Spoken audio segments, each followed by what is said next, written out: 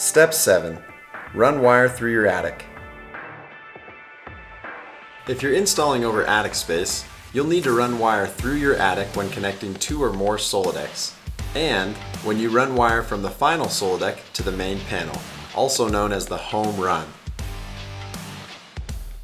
When running wire through the attic, use staples or the proper holds to secure the wire according to code.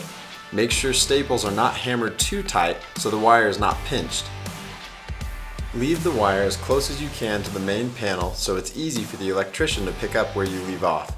If there is a soffit that will need to be removed, mark it with an X so the electrician knows where to find the wire to make the next connection in the run.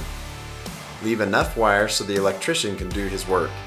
It's best to overestimate so wire does not have to be rerun. Project Solar. Easy DIY, better ROI.